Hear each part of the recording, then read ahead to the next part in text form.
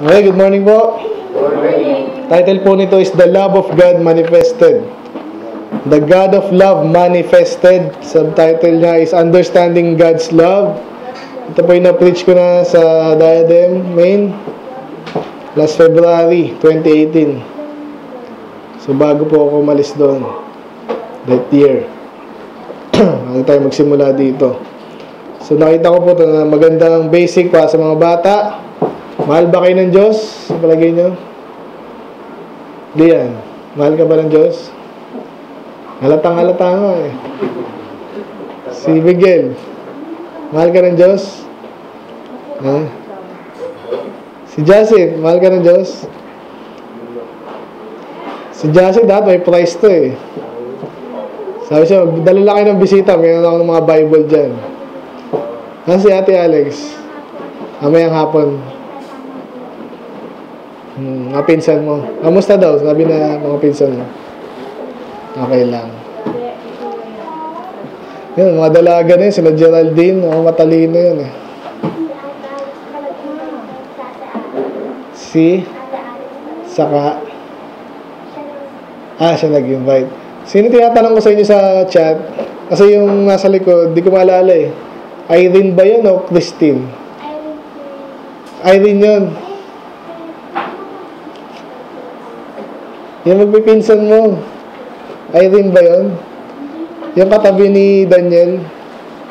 Irene. Christine nga sabi niyo, di ba? Sino Irene? May Irene ba? Iba pa yan? Ah, okay, okay. So, hindi pa pala nasyaran yun. Kasi naalala ko yung mukha niya, pero wala siya sa listahan. Baka hindi siya tumanggap nung ano, last last week. So, doon naman kami mamaya sa inyo eh. Ay, hindi pala. Ay, bahala. Titingnan ko lang. Kasi baka may puntahan kami dito sa likod. Ba na ba? Tingnan ko lang. Tingnan natin. Ha? Sige po. Binasa natin mga passages ay uh, alam natin yung 1 Corinthians 13, yung love chapter. Pero actually yung 1 John 4, ito rin yung parang pwede mo sabihin love chapter eh. Kasi po love, love, love, love. Alam niyo ba yung love? Mga bata? Kaya yung mga bata last ano eh, tatawanan sa joke ko, di ba? Nahuli ko kayo eh. May kilala. Okay lang yun kasi um, normal naman yan, di ba? Pero yun nga, sa mga bata, inaaral nyo dapat yan, di yung di kayo tumatalon dyan. Uy, in love na ako. 8 years old pa lang ako, in love na ako. Hira ka. Aralin mo lang, kaya nga ang pinakamagandang role model yung magulang nyo. Kung nagmamahalan yung ayos yung magulang nyo, sila yung magtuturo sa inyo niyan. Hindi sila, ay, anak, hindi yung basta-basta. Ganun yan eh. So, alam niyo yung love, no? Hindi ko na kailangan elaborate yun. Pag-ibig yan. So, maraming klase ng pag-ibig yan. Sa Greek, medyo na, na ano daw yan? Uh, na distinguished daw yan. Pero may inaaral ko yung Greek, parang di naman eh. Pero sakyan na lang muna natin yung ano nila. Sabi nila, yung pag-ibig daw sa Diyos, agape. Agape. Pero, nung inaaral ko, parang agapo. Depende. Pag I love, agapo. Sa agape. Tapos yung pag-ibig daw sa sa kaibigan is phileo. Yan. Pero yung sabi sa inaaral ko, yung word na yon friend yun eh. Hindi naman love of a friend. Friend. Okay, pero anyway, pag sa anak, mahal ko yung anak ko. Anong tawag dyan? Starge ba yan? Starge. And then, pag sa asawa, Eros. Okay, yung babae sa lalaki, yan. So, yun ang pag-ibig. Yung gusto mo, siya yung kasama mo. Kunwari ako, nag-iisip ako kung mag-abroad ako, mamimiss ko yung mga anak ko, makikita, hindi ko makikita lumaki, di ba? Kaya pag nakikita ko siya na, minsan kahit makulit, hmm, ngayon, ang liit nito, pag laki nito, pag kasi laki na ni Stephen, siguro, sana, good girl to, si Shana. Pag hindi, ang hirap, di ba? So, yun, pag-ibig sa kaibigan, pag-ibig sa Diyos, pag-ibig sa kapwa-tao, at saka sa asawa. Alam na natin yan, gusto, gusto mo siya makasama, uh, ayaw mo siya masaktan, ano pa, gusto mo masaya siya, yan, di ba? Ay, yung bata, lagi pinapasaya, sapat na sa atin yun. Minsan, yung mga ano, bibilang mo ng ano, meron namang laruan, bibilang mo ulit, para masaya siya. Gusto mo ganun. So, yun ang love, a strong positive emotion of regard and affection. Gusto mo siya, in short. Ngayon, yung ito hindi masyadong, ano sa atin, sabi ko sa verse uh, 9, In this was manifested the love of God toward us. Pag sinabing manifest, hindi yan na familiar sa iba, di ba? Pag sinabing manifest, parang may pakita. Sa English, sabi dito, provide evidence for, stand as proof for, show by one's behavior or attitude, or external attributes. So, para mapakita mo yung kunwari, pakita mong galit ka. May mga ganun eh. Na, ginawa ka ng masama, tapos di mo lang gagawin mo ay ginawa na masama.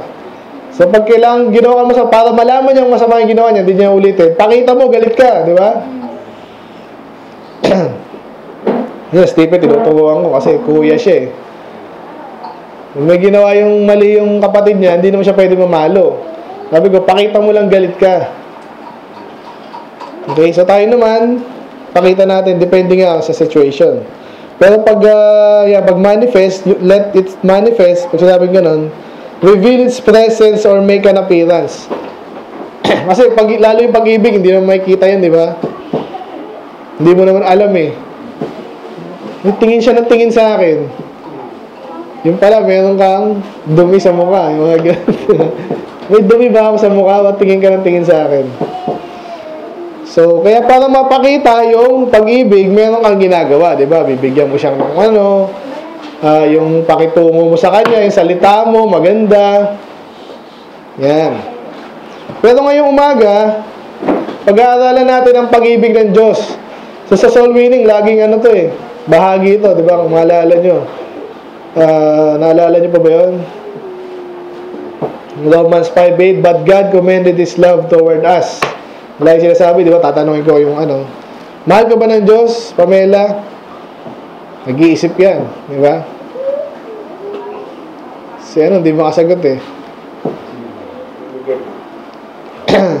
so, pero mahal tayo ng Diyos. Pero depende nga yung iba kasi iniisip na pag mahal tayo ng Diyos, mayaman ako. Ganun ba yun? Wala kang sakit. Yung iba, pag uh, masyadong marami ng hardship sa buhay, nag-iisip. Pero karamihan naman ng nakakausap namin, gano'n sabihin kasi buhay pa nga ako, di ba? O, tama naman. The fact na ikaw ay binigyan ng buhay, buhay ka pa, malusog ka, katulad ni Lian, naku, mahal na mahal ka ng Diyos. Di ba? Ngayon, paano iba ito napapakita? Kasi iba naman sabihin, ha, pakita mo nga, mahal mo ako. Ang hirap ng gano'n, no? Hindi mo nakikita, hindi mo makikita mahal kita. Iba naman, sobra naman, OA naman. Ah, pinapakita mo ng mahal ka, kulang pa. O iba naman yun. Pero pag-uusapan natin ngayon, paano natin malalaman na mahal tayo ng Diyos at anong gagawin natin doon? At pag mahal tayo ng Diyos, alam mo na, anong gagawin mo doon? Una, lagi kang masaya, pero mamaya makikita natin. So, unang bagay na gusto kong makita natin dito, para ma-appreciate natin yung pag-ibig ng Diyos, ay meron tayong 3 points lang dito. Pero bago pala yan, maglalaro muna tayo. Okay? So, hulaan nyo kung ano yung ah, bagay na ginagawa ko. Okay? Charades. Yan. Ito kasi yung nalagay dito eh. Hindi ko na maalala kasi dati, hindi ako nag-record dati. Pero, sige, hulaan nyo to ha.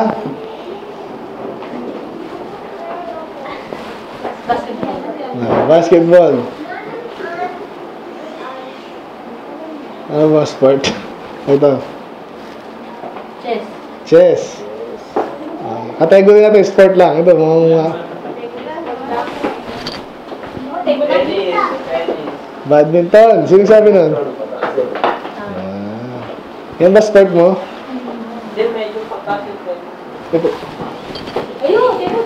Yeah, yeah. Iba acting na. Okay, ano pa? Napagod na ako. Eh. Jogging. Yeah, aralin natin. Wow!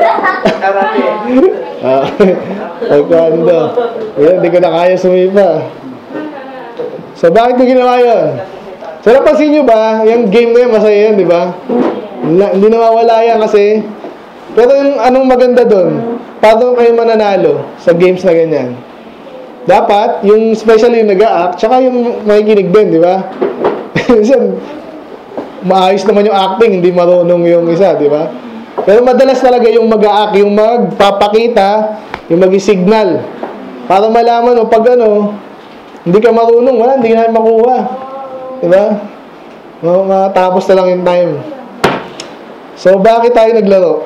Kasi ganito mga bata, saka mga ano, may mga bagay na, kaya katulad ko, bakit ako nag-face tapos pag ganyan-ganyan pa ako? Kasi gusto ko malaman nyo yung mensahe. Hin- Hindi nyo makakalimutan, tanang buhay nyo. Lalo na pag di kayo naantok. Oo. Oh. Kaya siya nagpapatawa. Minsan may props pa ako dito dati, di ba? Kasi hindi nyo makakalimutan yun eh. So ngayon ang Diyos din, meron siyang bagay na kasi hindi naman siya nangungusap sa atin directly, di ba? Okay. Pag nagising ka, Pamela, gisingin ka pa ng Diyos, sabi yun, I love you, Pamela, gaganunin ka pa ng Diyos. Hindi, hindi siya sa ganung paraan na nangungusap sa atin sa panahon na. Especially, wala naman siyang, pwede siya magsalita. Gusto niya, pero hindi nga siya ganun. Hindi naman siya katulad ng tao na mayroong vocal cords. No? Sa ibang paraan siya nagsasalita, madalas ay hindi. Kaya meron siya ngayong paano niya pinapa alam sa atin. Paano niya minamanifest yung mga bagay-bagay. Paano niya sasabing galit siya sa, kunwari, may kasalanan galit. Well, sa suwain ka sa magulang mo. Paano niya paano mo paparating ng Diyos? Sabi nung sabi ng memory verse ni ano, ang dalawa, di ba? Obey your parents and the Lord. Yun sinabi ng Diyos sa kanyang salita. Ephesians 6.1 eh, di ba? Nasa Bible. Yun ang gusto ng Diyos. Pero paano malalaman ni Stephen kunwari o kaya ni Jared na pag nagkulit-kulit siya, ayaw ng Diyos nun. Paano niya malalaman? Pag pinalo siya ng magulang niya, di ba? So, sinabi ng Diyos yun na obey your parents, pero ang kumilos ngayon, yung magulang mo. Di ba? So, ngayon alam mo, ay masama pala yun. Masama pala yung ah, magsinungaling, masama pala yung malikot, masama pala yung mag- manira. So, minanifest ng Diyos ang kanyang galit sa isang batang hindi sumusunod. Eh, Nagigets ba? So, maraming paraan yan eh. Na paano mamamanifest ng Diyos ang kanyang power? At ang kanyang ah, napakagaling na paglikha. At syempre, sa creation. So, kailan ba yung... Ayan, nagbatangas kaya kami ni Bad. Ba't pa tayo natin na-appreciate natin yung sky? Nagawa natin? Ha? Nagbiyahe kami. Siyempre, pag sa Batangas, walang building eh. Tapos, ang ganda ng, ano, ang ganda ng weather kahapon. Kitang-kita mo yung sky, ang blue. Ganda, creation ng Diyos. Diba? Yun ang way niya, isa sa mga way niya na mag-manifest yung kanyang grandeur o yung kanyang daki, kadakilaan. Ang ganda nito, hindi kayang gawin ng kung sino to. Ang ganda, pag gabi naman, lalo na, stars. Di ba? Pag nakita mo yung stars, lalo pag napunta ka na space, Wow. paano ginawa ng Diyos to? Di ba? So, ang dami niyang papakita sa atin, o ganito naman, may problema ka, wala makakatulong sa'yo. Tapos biglang naging okay lahat. Nagkaroon ka ng sakit, hindi alam ang dahilan, hindi alam ang gamot, tapos gumaling ka. Nag-pray ka lang. So, ma-appreciate mo ang Diyos. Ganun din, malungkot ka kunwari, bigla ka nagkaroon ng anak, ay was, nakakaano pala yung mga anak natin, nakakatuwa, di ba? Nakakatuwa ba kayo sa anak nyo? okay. So maraming ah, maraming ba- paraan ng Diyos ay pinapakita niya ang kanyang ah, kung ano man gusto niya pakita. Okay, galit ka din, nabanggit natin galit, yung kadakilaan niya. So ngayon naman yung pag-ibig niya. Kasi yung pag-ibig ng Diyos, kaya katulad ni ano, ewan ko, iba tinatanong namin, mahal ka ba ng Diyos? Hindi ko po masabi. Yung mga ganun eh. Kasi yung, yung currently siguro, nung nadat na namin yung tao, yung iniisip niya, problema. Tapos tatanong mo sa akin, mahal ako ng Diyos, iniwanan ako ng asawa ko, kurari, ganun. Ang hirap sagutin na oo. Diba? Kaya, pag-aaralan natin, paano pinakita ng Diyos sa kanyang pag-ibig para ma-appreciate natin. Ano yung sabihin ng appreciate? Para maintindihan natin at syempre tumbasan natin yun. Kahit konti lang. Masyali kayo mga bata. Kaya mga bata, wala pa lang problema masyado, di ba? Kasi ganun yun eh. Yung mga magulang nyo, kami nag-shoulder ng mga problema, gastos, trabaho, problema. Kami nag-shoulder nung para kayo, lumaki kayo ng ano lang, smooth. Hindi kayo masyadong problemado sa buhay kasi batang problemado sa buhay. Pero depende rin eh. Pero madalas sa hindi, hindi yun maganda. Pero iba tumitibay din sa buhay, maganda rin yun. Okay, so tingnan natin. So number one na gusto kong banggitin dito, para makita natin ang pag-ibig ng Diyos, maintindihan ito, sabi sa verse 1, Dito tayo mag-umpisa kasi yung iba, yung pag-ibig minsan masyado ng ang tawag nila dyan. Nalimutan ko. Overrated. Ibig sabihin, puro yun na lang, puro pag-ibig. Yung galit ng Diyos, hindi na, hindi na naalam. Tapos kaya sa kaligtasan, di ba, lagi natin sinasabi, lahat ba ng tao mahal ng Diyos? Lahat ba ng tao anak ng Diyos? Lahat ba ng tao anak ng Diyos? Okay, alam mo na, di ba? So, pero yung iba, sinasabi ganun. So, pag ang, sa palagay mo, lahat ng tao anak ng Diyos, tapos may napunta sa impyerno, parang ayaw marinig. Parang hindi mo maintindihan yun. Kaya kasi, kasinungalingan yun. Kaya ngayon, mag-uumpisa tayo sa bagay na para malaman natin kung saan nanggagaling ang pangunawa sa pag-ibig ng Diyos. Okay? Pangunawa sa pag-ibig ng Diyos. So sabi dyan, Beloved, believe not every spirit, but try the spirits whether they are of God, because many false prophets are gone out into the world. So, ibig sabihin nito, hindi lahat ng spirit, ano may spirit? So, nabanggit natin, madalas ito yung mga bagay na walang katawan, ito immaterial thing, pero madalas ay hindi. Ito yung mga bagay na sinasabi, naririnig mo, naintindihan mo. Spirits. Okay? Kaya sabi ng Panginoon, The things that I say unto you, they are spirit and they are life. Yung sabi ni Jesus sa mga kanyang disipulo. Kasi sabi dito, believe not every spirit, eh, di ba? Kung, kung yung spirit na yun ay parang multo na something, papaniwalaan mo ba yun? So ano ang bagay na pinaniniwalaan at hindi pinaniniwalaan? Di ba yung mga bagay na sinasabi? Example, nagsalita ako dito ng sampung bagay. Ay naniniwala ako doon sa lima, pero doon sa lima hindi. Ibig sabihin nun, tinitingnan mo, iniintindi mo, tsaka magdi-decide ka ngayon, naniniwala ba ako doon o hindi.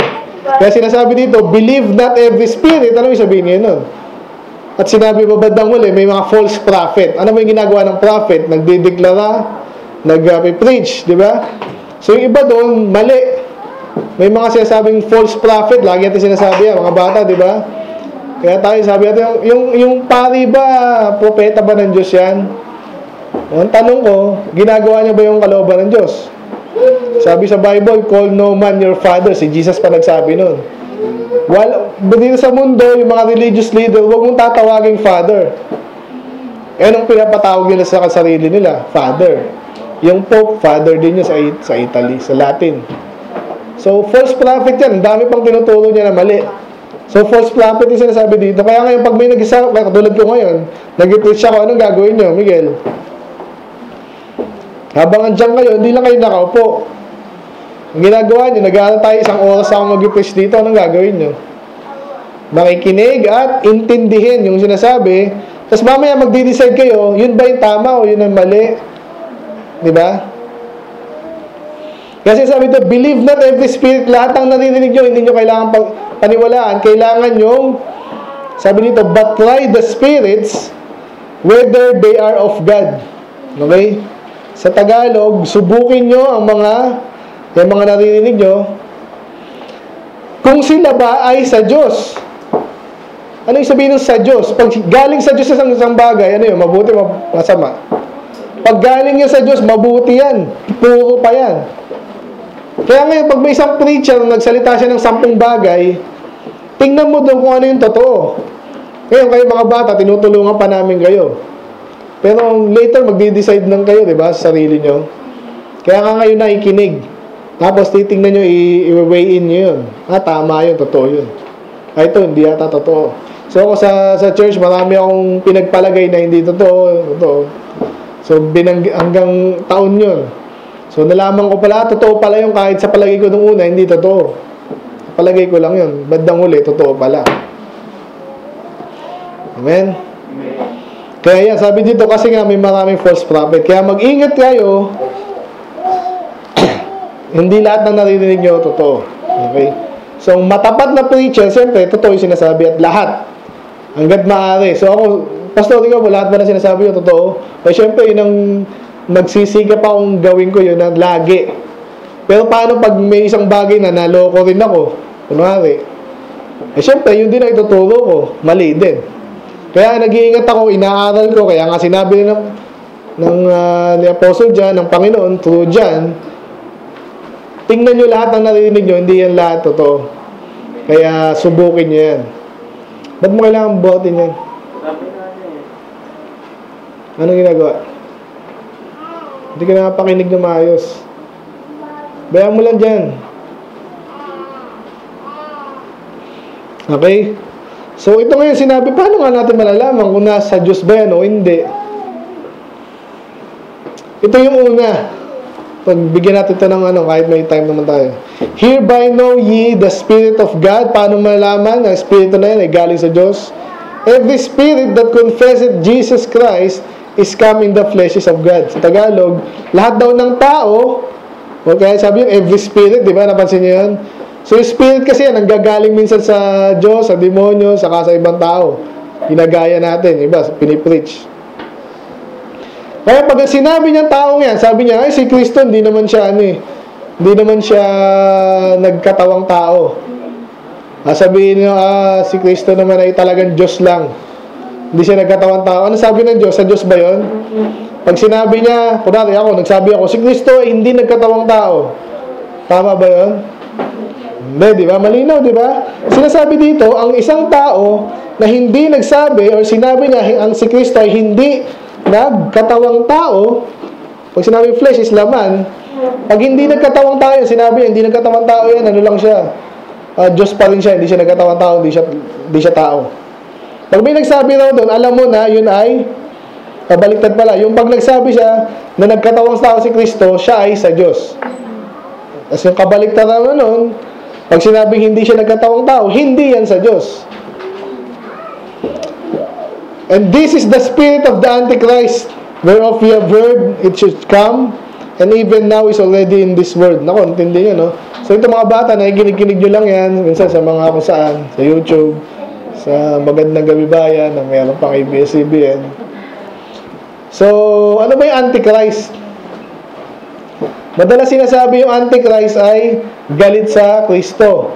Tama din naman yun. Kaso, actually, ang mas importanteng meaning ng Antichrist is in the place of Christ. Okay? Ginagaya niya si Jesus. Kaya sinasabi, binabanggit ko sa inyo kanina na may, may mga tao ba nagsasabi na si Kristo ay hindi nagkatawang tao? Di ba yung iglesia ni Manalo, gano'n na gano'n? Exactly. Hindi raw siya, ah, baliktad pala. Baliktad, sorry. Sila pala ay tao lang si Kristo. So, pwede rin gano'n, no? Pag sinabi mo kasing tao lang, hindi siya nagkatawang tao kasi ka tao lang siya eh. Intindihan ba, Joshua? Medyo kailangan natin gamitin yung utak natin ngayon, ha? Pag nagkatawang tao ka, hindi ka tao lang. Kasi kung tao ka, tao ka na talaga. Ba't ka magkakatawang tao? Eh, tao ka nga eh. Okay? So, yung mga iglesia ni Manalo, sabi nila, hindi daw siya nagkatawang tao kasi nga, tao lang siya. So, hindi siya Diyos. Ang tinuturo sa Bible, si Kristo ay Diyos. Anak siya ng Diyos. Kaya nagkatawang tao siya. Okay? Bago siya magkatawang tao, ano siya? Siya ay Diyos, nagkatawang tao. Nung nagkatawang tao siya, ano na siya? Tao, at the same time, Diyos pa rin siya. Kasi hindi niya inalis yun sa sarili niya. Okay? So, dual nature siya na.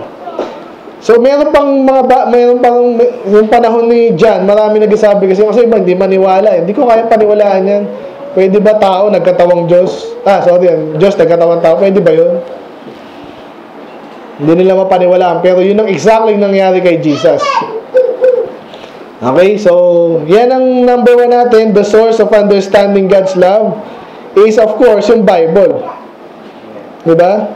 At dapat ay manggagaling yan sa, sabi sa verse 1, sa mga sa Diyos. Okay?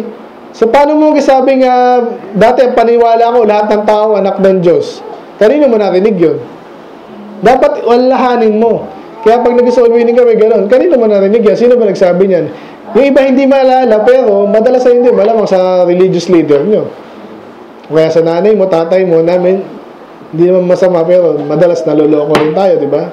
Kaya nga sabi doon, believe not every spirit, but try the spirit. Subukin mo. Sa Diyos ba talaga? Yung sinabi ba ng Diyos, lahat ng tao, anak ng Diyos? Kaya nga pag tinanong ko, eh si Judas, anak ba ng Diyos? Ay, hindi po. O, di hindi lahat ng tao, anak ng Diyos. Ah, oo nga po. Yan.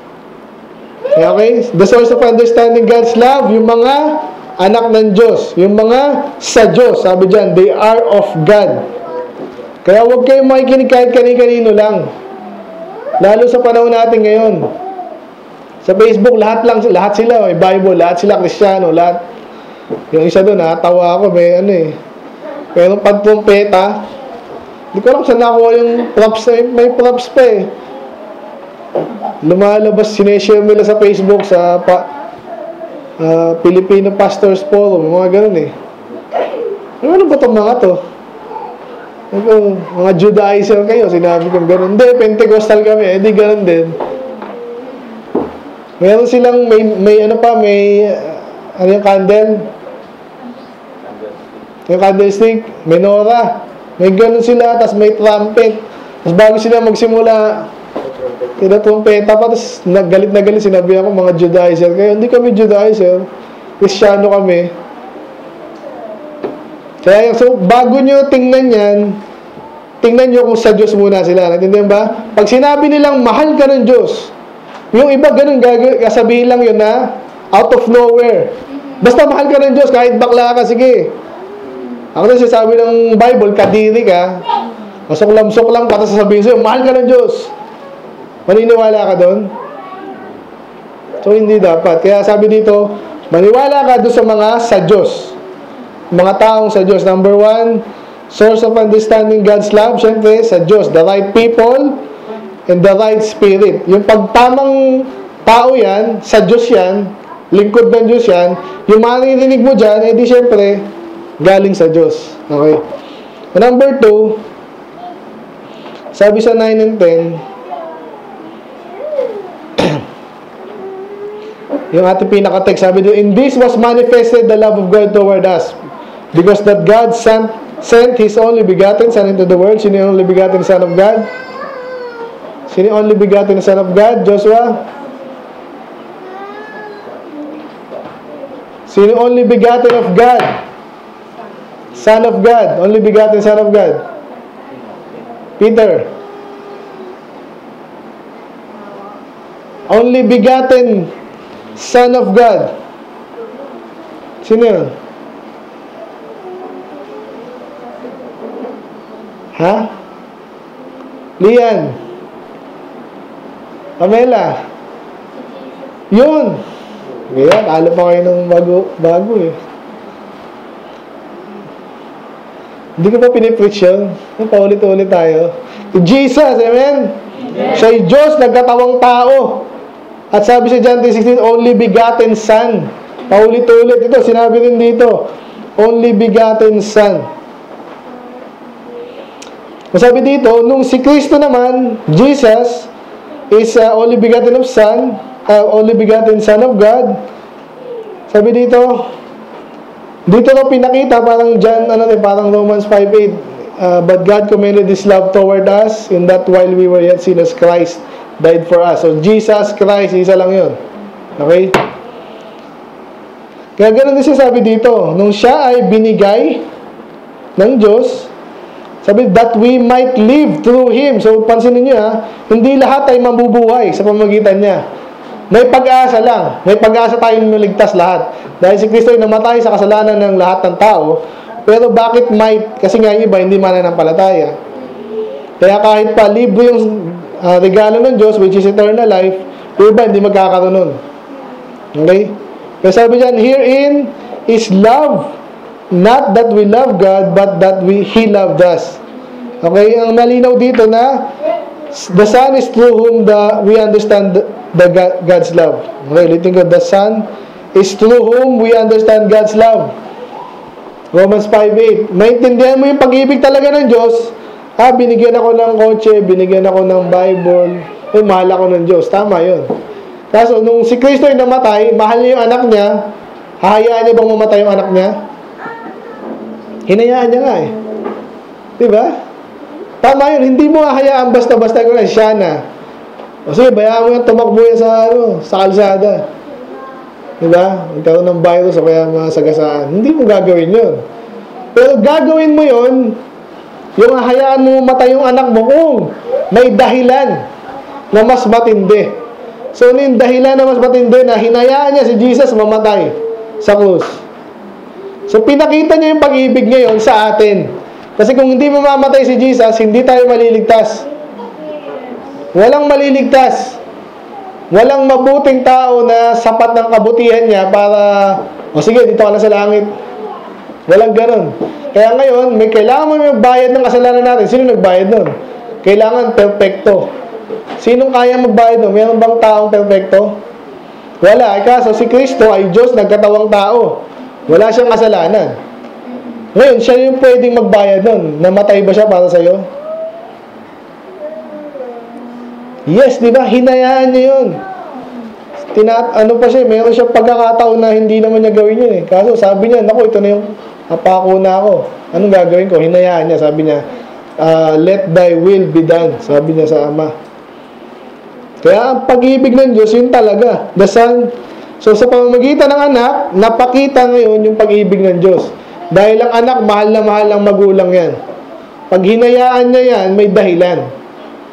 At lalo ang Diyos, mabuti ang Diyos, makapangyarihan siya, at hinayaan niya yung anak niya mapahamak. Hindi dahil sa kahit anong bagay lang, kundi minahal niya tayo. Yun siya sabi dito. Okay? So, una, ang pag-ibig ng Diyos ang magsasabi sa iyo yung tamang tao, yung sa Diyos. Pangalawa, ang pag-ibig niya ay pinakita sa pamagitan ng kanyang anak. Nung si Jesus ay namatay para sa iyo, sa ating lahat. Ngayon, meron lang isang bagay dito, binasa natin kanina. 7 and 18. Kasi parang gusto kong nangyari dito, yung, uh, paano natin i-apply yung pag-ibig ng Diyos? Okay ngayon, mahal tayo ng Diyos, tapos na, ganun ba yun? Yay! Okay, tapos, wala na ba iba? So, pag-ibig niya sa'yo, wala, wala, ipapalit ka pa ba doon? Naligtas ka? The fact na naligtas ka, mahal na mahal ka ng Diyos, namatay yung anak niya para sa'yo lang. Mahal ka ng Diyos. Ngayon, anong gagawin natin doon? Kasi itong pag-ibig na to ay Pinakita ng Diyos sa atin, anong gagawin nga natin doon? So, may, may sinasabi sa atin dito na pwede natin ipakita rin yung pag-ibig ng Diyos sa iba. Okay, dahil minahal tayo ng Diyos, nakita natin yon, pakita rin natin sa iba. Paano natin pakikita? Mamamatay din tayo, hindi na kailangan. Si Jesus, namatay na si Jesus eh. Kaya sabi dito, Herein is our love made perfect that we may have boldness in the day of judgment because as He is, so are we in this world. Sa Tagalog, Kapag sinabing made perfect is complete, di ba? Paano tayo, yung pag-ibig naman natin, okay, sa ibang tao at sa Diyos, paano tayo magkakaroon ng uh, makukumpleto yon yung pag-ibig na yan. Sabi dito, that we may have bodies in that, the day of judgment. Ano yung day of judgment? Kailan daw tayo husgahan? Sabi sa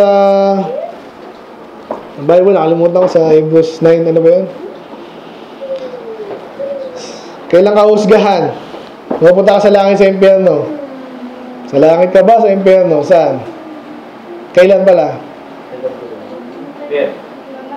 Depende, di ba? Kung ano mo una, yung kamatayan mo o yung rapture. O yung ayun na nga. Magbabalik ng Panginoon. So, kay, sino mo mauna doon? Hindi mo nga alam. So, pero eh, anytime mangyari yun, kung ano man ang mauna, huhusgahan ka, Paano mo malalaman ngayon na pupunta ka sa langit? Yun ang sinasabi dito eh. Kaya sabi ni, ni John, may sinasabi siya, because as He is, so are we in this world. Sa Tagalog, kung paanong siya ay ah, dito sa mundo, tayo din naman. Ibig sabihin, nakikiramay siya sa atin. Di ba naalala niyo si Jesus? Ngayon, pag tayo ay, ako na, minamali tayo, late naman ng church nyo, kami, marami kami, mayaman kami. Nye, nye, nye, nye, nye. Hindi lang yon. May persecution. Sinabi persecution, uusigin ka. Ngayon, pag naintindihan natin na si Kristo nga ay pinatay, so hindi tayong tipong, ay, hindi ako mahal ni Jesus kasi, hindi ako mahal ng Diyos kasi konti kami or something, may galit sa amin yung sanlibutan. Eh si Jesus galit din sa kanya sanlibutan. Naintindihan niyo ba yun? So, ang ngayon, pag naintindihan na, lagi natin na-remind tayo ng bagay na to, nagiging kumpleto yung ating pag-ibig sa Kanya. Kasi sabi ko dito, may boldness in the day of judgment. Sigurado ako, sa langit ako. Hindi mangyayari yan kung hindi mo alam na mahal ka ng Diyos. Na hindi kaya paglalaban. Katulad na sa iba na, hindi, kailangan, mabuti ka ba? Mabuti ka bang tao para maligtas ka? 50-50 ka dun eh. Ano, minsan mabuti ako, minsan hindi. So, hindi yung pag-ibig ay kumpleto eh. Unlike pag ah, sigurado ka sa, sa langit ka, kumpleto yung pag-ibig. Amen. Kaya sabi niyo, there is no fear in love, but perfect love casteth out fear, because fear hath torment, he that feareth is not made perfect in love. So, bin, inulit yung perfect in love, love made perfect. So, ngayon, yung sinasabi ko kanina, yung pag-ibig ng Diyos na to, hindi yan mananatili sa atin lang. Kasi nakakatakot mag-soul winning, nakakatakot ipaglaban yung katotohanan, yung pag-ibig ng Diyos. Kasi nga, binaboy na ng iba yan eh. Tapos ngayon, iko-correct mo sila. Ang hirap na minsan. Ang hirap para sa kanila, ang hirap para sa iyo yun. Ayaw mong kagalitan ka, di ba? Kasi sinasabi dito, pag ikaw ay na, na- may takot ka pa, ito yung negative na takot ha, pag ikaw ay may takot pa, hindi ka pa perfect yung pag-ibig mo. Yun ang sinasabi dito. Kasi pag talagang umiibig ka, nagmamahal ka, hindi ka takot, di ba? Hindi, baka laitin ako eh. Mahal mo ba sila? Hahayaan mo ba sa sa impyerno? Eh, takot akong ma-reject, takot akong usigin, takot akong agalitan. Hindi pa perfect yung love mo. Kaya sinasabi lang dito, the fact na minahal ka ng Diyos, sigurado yung pag-ibig niya sa'yo, yung pag-ibig ng Diyos sa iba, sigurado rin yun. Eh, sa'yo lalo. Ganun din, pag soul winner ka, ikaw yung soul winner, tapos, eh, baka pabayaan ako ng Diyos. Ganun ba yun? Hindi ka papabayaan ng Diyos.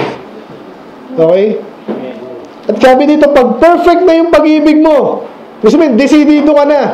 Kahit anong mangyari, mag-soul win ako, mag-aaral ako ng salita ng Diyos, ipoproklama ko yung salita ng Diyos. Sabi dito, anong resulta nun? But perfect love, pag perfect na yan, matured ka na, yung takot mo ngayon, yun na yung tatapon mo. Kanina, napaparalyze ka dahil sa takot mo eh. Kasi nga hindi pa kompleto, hindi pa perfect yung Pero pag na-perfect na yan, pag maayos na yung pag-ibig mo, talagang desidido ka na, kasi mahal mo yung kaluluwa eh. At alam mo rin, mahal ng Diyos yung kaluluwa. Anong gagawin mo? Yung takot na yan, para mong ibabalibag. Nakakita yung sa wrestling, di ba? Hindi lang ako galit sa'yo, babalibag pa kita. Pag sinabing kas naman, ibabato lang. Di ba?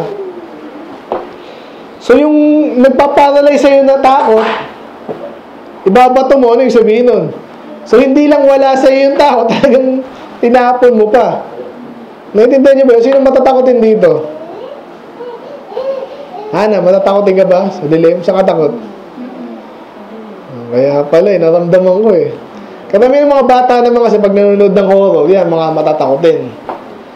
Pero, sinong takot na kagalitan ng tao? Lahat naman tayo. Pero pag, pag nag, nagmamahal ka sa kaluluwa, ayun na ngayon. Hindi ka takot. Okay? Hindi ka natakot. Kaya sabi dyan, He that feareth not is made perfect in love. Sorry, baliktad. He that feareth is not made perfect in love. So, yun yung sinabi ko kanina. Pag may takot ka pa, hindi ka pa matured. Okay? Kung sino dito yung gusto maging matapang? Yung inakanta natin kanina, di ba? Yung The Bible Stands. Sabi doon, Bible stands and Kalimutan ko, ah, sinabing undaunted, gusto yun, hindi natatakot at hindi natitinag. Okay? So sana maging ganun tayo.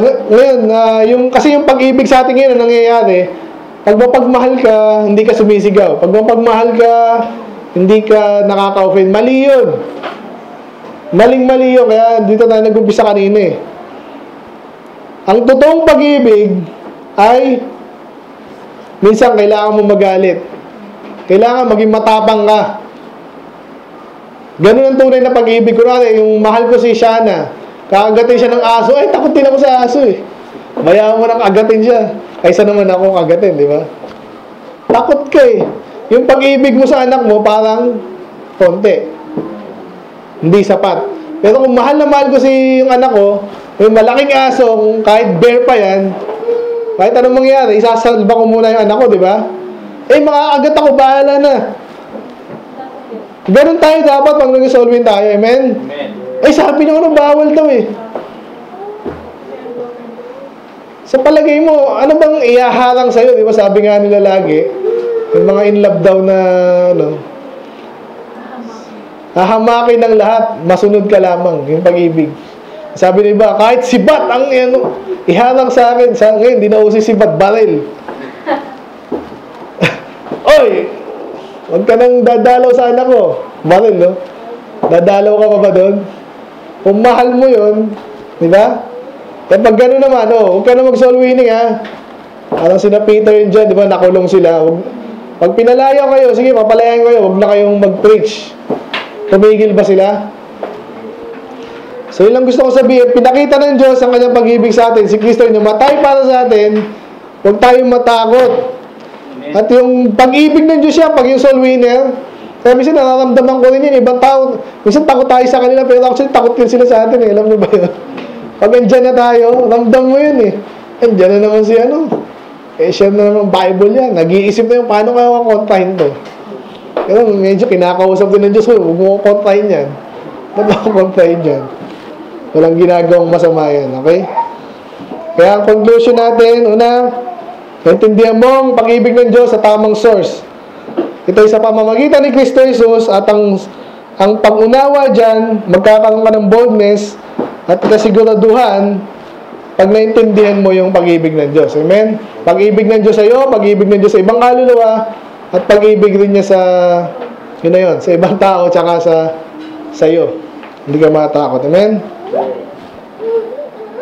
So, kailangan mahal din natin ang isang isa, pero sa tamang context. Okay? So, pag may nagkasala sa atin, kailangan minsan paluin, parusahan, kung kailangan, kailangan. Ganun ang pag-ibig. May, may ano tayo dyan, may space tayo dyan. Amen? Let's pray, Panginoon. Maraming salamat na nakita namin, Panginoon, na napakabuti nyo.